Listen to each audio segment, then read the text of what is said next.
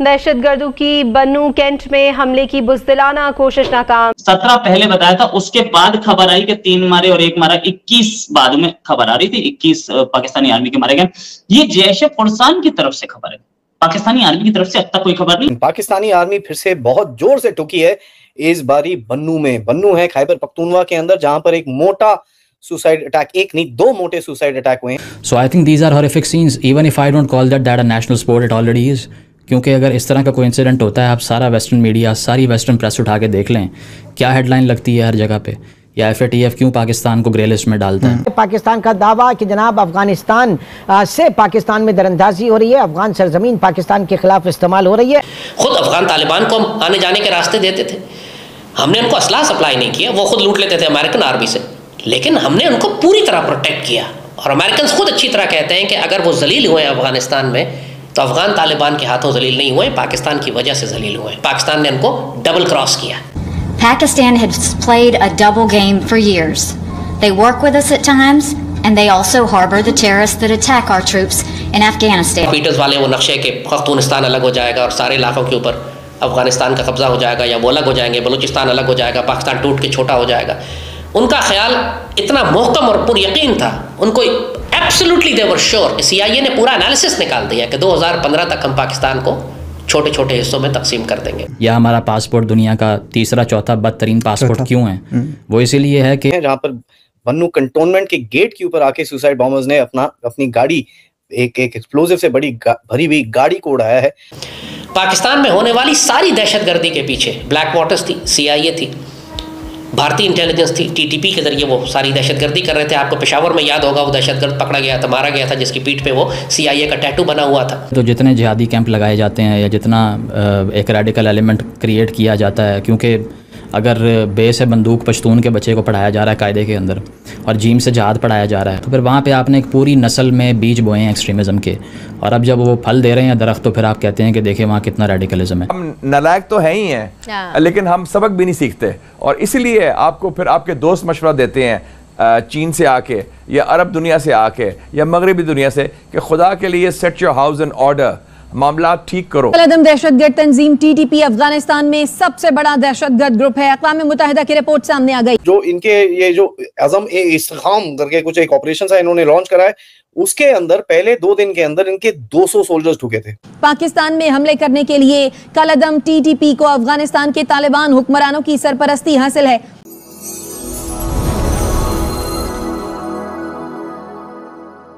तो for this not the but या major contributing factor since there are no objective discussion only element done because there is a of subjectivity involve which post modern argument but still stage तो ये कि रियासत ने चूँकि Afghan war में अपना एक एंड अचीव करना था तो उसके लिए जो उन्होंने नर्सरी लगाई. एक्सट्रीमिज़म की वो वहीं पे लगाई। तो इसीलिए एक तो वो लोग बहुत ज़्यादा वलनरेबल हो गए इससे। आज तक वहाँ पे अगर टीटीपी का थ्रेट आता है तो पंजाब से सपोर्ट मिल रही होती है टीटीपी को। टीटीपी को तो नहीं अफ़गान तालिबान को। लेकिन वहाँ पर उनको पता है कि ये जो आप सपोर्ट जिनको करने जा रहे हैं वो टीटीपी को एम्पावर करेंगे और हमारे बच्चे मरेंगे। लाहौरियों को क्या फ़र्क पड़ता है? हम्म। कराची वालों को क्या फ़र्क पड़ता है? इस्लामाबाद को क्या फ़र्क पड़ता है? कि अगर अफ़गानिस्तान में तालिबान आ जाए या ना आए फ़र्क तो पड़ता है बॉर्डरिंग एरियाज़ पे बैठे हुए पश्तून को या बलोच को। तो हमने उनकी इसीलिए दर्द या एहसास उनका नहीं किया क्योंकि हमें फ़र्क नहीं पड़ता। हम तो अर्बन सेंटर्स में बैठ के उनके फ़ैसले कर रहे हैं। तो अभी भी यही सूरत हाल है कि इमरान खान जैसे लोगों ने जब ये कहा कि ग़ुलामी की जंजीरें टूट गई तो उनको शर्म आनी चाहिए थी इस बात पे। उसकी वजह यह है कि अगर वो उसी सूबे से मैंडेट लेके आ रहे हैं जहाँ पश्तून आवाम की मेजॉरिटी है तो उनके गले काटने वालों को वो कह रहे हैं, मैं चार हज़ार फ़ाइटर को रीसेटल करवाऊँगा के पी के के अंदर। तो मेरा नहीं ख्याल कि इसके बाद उनका एजेंडा कोई अनक्लियर uh, था because he was the most pro Taliban man in the mainstream politics of Pakistan and still he is winning and that tells you the phenomena of populism Um, I mean, he also called Osama bin Laden a shaheed. Yeah, and many uh, other things. Uh, blamed women for their own rapes. Yeah. वो तो मौलाना तारिक जमील ने भी कहा ना कि Covid जिस तरीके से पाकिस्तान के अब रिसेंट उसकी एग्जांपल हमारे हमारे सामने साहिल अदीम की भी है उसके बाद जो इन्फॉर्मेशन आई है, बन्नू कैंट, जो एक मिलिट्री बेस है खैबर पख्तूनवा के अंदर, वहाँ पर काफ़ी फोर्सेस इनकी जो टीटीपी वाली हैं, वो अंदर घुस गए हैं। एंड एज मैटर फैक्ट कहीं ना कहीं अभी अनकंफर्म्ड रिपोर्ट्स हैं कि करीब करीब 12 से 13 पाकिस्तानी सोल्जर्स टिचकियाँ हो गए हैं। और यहाँ तक कि ये भी पता चल रहा है कि एक हॉस्टेज सिचुएशन भी डेवलप हो रही है। तो जरा देखें, ये हुआ क्या है? बड़े ज़बरदस्त एक्सप्लोजन हुए पाकिस्तान टाइम के हिसाब से देखें तो चार बज के पैंतालीस मिनट पर सुबह बड़े ज़ोर से एक्सप्लोजन हुए बन्नू कैंट के गेट के ऊपर। उसके बाद बहुत ज़ोर से फायरिंग वहाँ पर चल रही है और एज वी स्पीक वहाँ पर फायरिंग अभी भी चल रही है क्योंकि अब वो अंदर घुस गए हैं कैंट के अंदर तो बहुत उसके बाद डैमेज होने वाला है। यहाँ तक कि पाकिस्तानी आर्मी ने अपने जो एयरफोर्स के पाकिस्तान ने अपने एयरफोर्स के जो अटैक गनशिप्स हैं वो भी वहाँ पर डिप्लॉय कर रखे हैं। यहाँ तक ये भी पता चला है कि स्पेशल फोर्सेस और जो उनकी एसएसजी कमांडोज हैं वो भी अंदर अंदर उस एरिया के अंदर घुसे हैं to try and sanitize this entire entire thing ये जो अटैक हुआ है ये लोग तो काफ़ी अब सिंपल लैंग्वेज में बोले तो यार टीटीपी टीटीपी कर रहे हैं। बट uh, मेरे हिसाब से जो मेरे को इन्फॉर्मेशन आई है ये अटैक हुआ है गुल बहादुर ग्रुप के जैश जैश फुरसान ए मोहम्मद एक जो ग्रुप है, उन्होंने रिस्पॉन्सिबिलिटी क्लेम करी है. As a matter fact Pakistani army का जो एक गो टू तरीका है इन चीज़ों को डील करने के लिए, वो है कि भैया जरा फटाफट इंटरनेट को ब्लॉक कर दिया जाए. तो फटाफट से इंटरनेट ब्लॉक हुआ है वहाँ पर और कहीं ना कहीं कुछ भी खबर वहाँ से बाहर आना बड़ा मुश्किल है. चेक पोस्ट है पाकिस्तानी आर्मी की. मैं वहाँ पर मैप देख रहा था और मैंने थोड़ी सी इन्फॉर्मेशन डिगिंग करने की कोशिश करी. पाकिस्तानी आर्मी की उस कैंटोनमेंट के बाहर चेक पोस्ट हैं। मैं आपको बता सकता हूँ, उसके इस कैंटोनमेंट में बेसिकली चार रोड्स आती हैं, जो मेन रोड्स इस तरफ़ आती हैं। उसका नाम है Kachehri road Miran Shah road Thal road and Kohat road ये चार मेजर जगहों की तरफ़ जो रोड जाती हैं, यहाँ पर चार मेजर मेजर चेक पोस्ट हैं एंड इसके बाद भी ये लोग अंदर घुस के इस तरह की इंसिडेंट कर सकते हैं। तो that tells you that surrender army जो है, वो अपने काम में पूरी तरह से अच्छे से काम कर रही है और एब्सोल्युटली ऑन एसओपी वो जहाँ पर हो सकता है सरेंडर ज़रूर करती है। तो कितना बड़ा खतरा है तहरीके तालिबान पाकिस्तान के लिए? तहरीक तालिबान पाकिस्तान जो है ये तो आ, हमारे लिए खतरा है एक्चुअली और ये जो एनालिटिकल सपोर्ट और एग्जैक्टली मैं मैं यही कहना चाह रहा था कि तहरीक तालिबान पाकिस्तान पाकिस्तान के लिए कितना बड़ा खतरा है। रिफ्रेश कर लेता हूँ इसको। तो ये यूएन की जो सैंक्शंस मॉनिटरिंग टीम की जो रिपोर्ट है इसने तो वो सारे फैक्ट्स वैलिडेट किए हैं जो हम बहुत पहले से कहते आए हैं और पाकिस्तान उस दुनिया को ये बावर करवाता रहा है क्योंकि हम तो वो चीज़ उसको बिल्कुल क्रॉस हेयर में है टीटीपी की वायलेंस के और उनके ये नंगरहार होस्ट पख्तिया हम्म।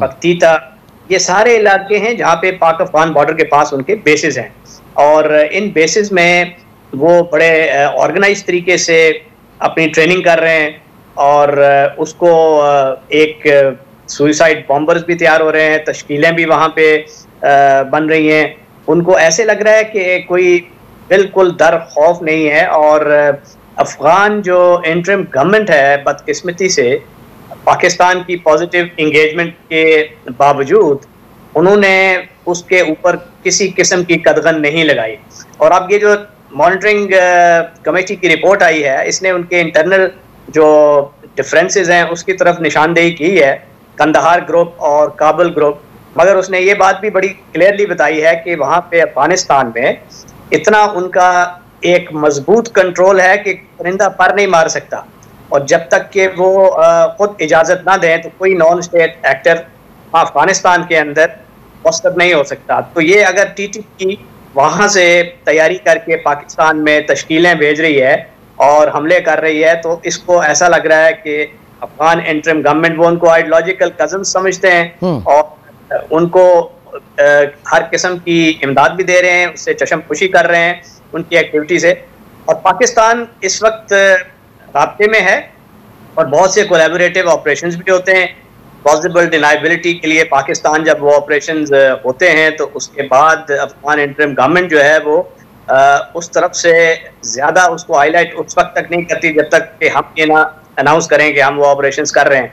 तो मेरा ख्याल है हमारा जो एक स्ट्रैटेजी ये होनी चाहिए कि हम उनके स्टेट अफगान इंटरम गवर्नमेंट के साथ मिल करें और बहुत से दूसरे तरीके हैं जिसके ज़रिए उन बेटिस को निशाना बनाया जाए। सो नमस्कार दोस्तों जय हिंद। तो दोस्तों जैसा कि आपने वीडियो में देखा कि पाकिस्तानी फौज के ऊपर आतंकवादियों द्वारा एक बहुत बड़ा अटैक किया गया है। ये अटैक केपीके के अंदर कोई बन्नू एरिया है जो कि कैंट एरिया है पाकिस्तानी फ़ौज का, वहाँ पर पाकिस्तानी फ़ौज की एक छावनी टाइप है, जहाँ पर यह हमला हुआ। और सुनने में आ रहा है कि आतंकवादियों द्वारा बारूद से भरी हुई गाड़ी को उस कैंट की दीवार में ले जाकर ठोक दिया गया। उसके बाद वो दीवार टूट गई। अंदर घुसने के बाद उन्होंने अंधाधुंध गोलियाँ चलाई हैं पाकिस्तानी फौज के ऊपर। सुनने में आ रहा है कि अभी तक की जानकारी के अनुसार पाकिस्तानी फौज के 21 से लेकर 25 तक नौजवान मारे जा चुके हैं और 50 नौजवान घायल हैं। ये बहुत बड़ा हमला है। और इस हमले में सात से आठ सिविलियंस के मारे जाने की भी खबर है, क्योंकि क्योंकि पाकिस्तानी फौज की इस छावनी के साथ काफ़ी आबादी वाला एरिया था, जिसके कारण इस तरह सिविलियंस की भी मौत हुई है। इस हमले को लेकर पाकिस्तानी फौज ने कोई जानकारी अपने लोगों के साथ साझा नहीं की है।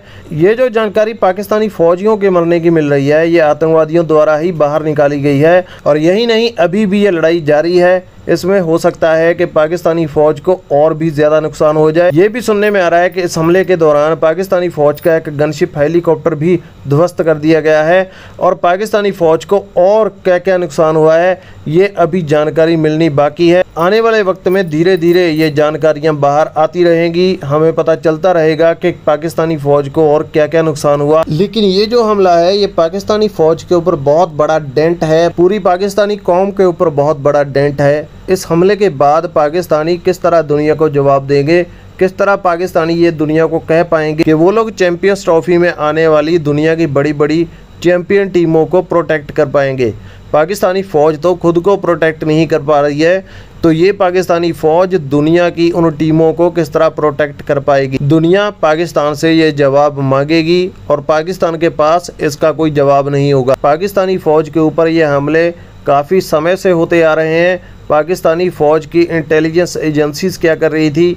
पाकिस्तानी फ़ौज खुद क्या कर रही थी? उन्होंने अपनी इस फ़ौज को इस हमले की जानकारी पहले क्यों नहीं दी? इन चीज़ों का जवाब पाकिस्तानियों को, दुनिया को देना पड़ेगा। अगर पाकिस्तान के अंदर से इस तरह के हमलों की रिपोर्ट्स आती रहेंगी, अगर पाकिस्तानी फ़ौज के ऊपर इस तरह के बड़े बड़े आतंकवादी हमले होते रहेंगे तो पाकिस्तानी फिर सोच भी कैसे सकते हैं कि ये लोग अपने देश में कोई इस तरह का इतना बड़ा इंटरनेशनल इवेंट ऑर्गेनाइज कर सकते हैं? बाकी दोस्तों, आपका इसके ऊपर क्या विचार है? आप अपनी राय कमेंट सेक्शन में दीजिए।